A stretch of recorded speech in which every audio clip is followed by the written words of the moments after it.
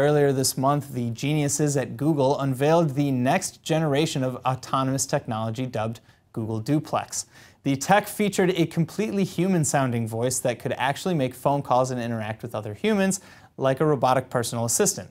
Well, it shouldn't shock you to learn that all that insanely cool technology was developed right here in Google's Israel R&D Center. But to understand just what a game changer this actually is, take a listen to a real phone call that Google revealed on stage to a shocked audience. So how can I help you? Hi, I'm calling to book a woman's haircut for a client. Um, I'm looking for something on May 3rd.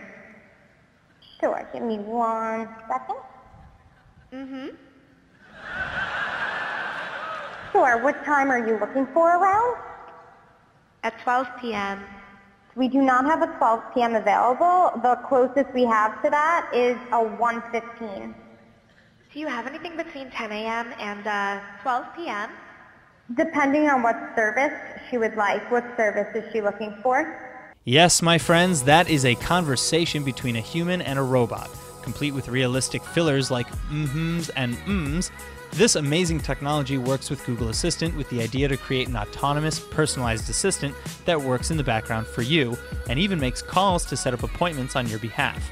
Well, it turns out that the majority of this technology was developed by Israeli engineers in the Tel Aviv Google Hub, and Yaniv Leviathan and Yossi Matias have actually been experimenting with this technology for the last 20 years or so.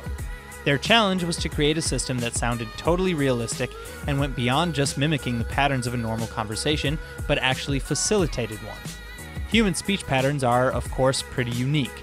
We often correct ourselves in mid conversation or change our pace as the context of our talk changes. While Google Duplex may not be 100% perfect, but wow, is it close.